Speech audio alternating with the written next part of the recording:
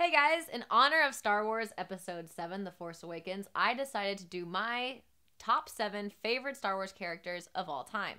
Starting with number 7 Luke Skywalker. Look at that little sky booty. Growing up as a little girl, I had the biggest space crush on Luke Skywalker. We got to watch him go from a simple, adventure seeking farm boy to the Jedi Master he became in the original trilogies. Not to mention the first Jedi that we had seen in years, and the son of the baddest villain of the galaxy, even though he kissed his sister. So, finding out who his family is, learning how to use the Force, the conflict between the rebellion and the Empire are all themes that we can relate to in our own daily lives. And that is why I chose Luke Skywalker as my number seven choice for the Star Wars top character countdown. So, tell me what you guys think in the comments below.